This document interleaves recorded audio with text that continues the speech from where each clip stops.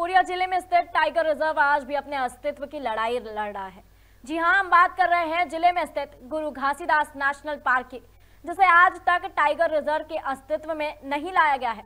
केंद्र सरकार ने 2021 में गुरु घासीदास नेशनल पार्क को टाइगर रिज़र्व घोषित कर दिया था, लेकिन यह अस्तित्व में अब तक नहीं आ सका है।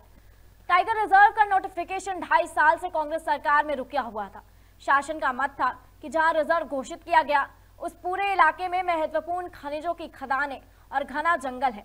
रिज़र्व बनने के बाद अगर इस इलाके में खनन बंद करना पड़ा तो इसे राज्य सरकार को गंभीर आर्थिक संकट उठाना पड़ सकता है। यहाँ लगातार फ्लोरा फोना के ऊपर सर्वे हुए हैं। जहाँ तक वाइल्ड लाइफ की बात है तो फ्रीक्वेंटली यहाँ पर टाइगर और जो भी कार्निवोर हैं हर्बीवोर हैं, उनका मूवमेंट देखा गया है। और इन्हीं सबको ध्यान में रखते हुए केंद्र सरकार ने टाइगर रिज़र्व के रूप में उसको अप्रूवल दिया था। बाकी नोटिफिकेशन राज्य स्तर पे इसका प्रोसेस जारी है और इसमें आगे प्रयास किए जा रहे हैं। चूँकि मामला सब है, इसलिए इसके नोटिफिकेशन स्टेटस पे कुछ कमेंट करना सही नहीं रहेगा। लेकिन यहाँ पे जितने भी वन्य प्राणी हैं टाइगर हैं और जो भी कार्निवोर्स हैं हर्बीवोर्स हैं उसके अंतर्गत वाइल्ड लाइफ मैनेजमेंट के लगातार कार्य किए जा रहे हैं।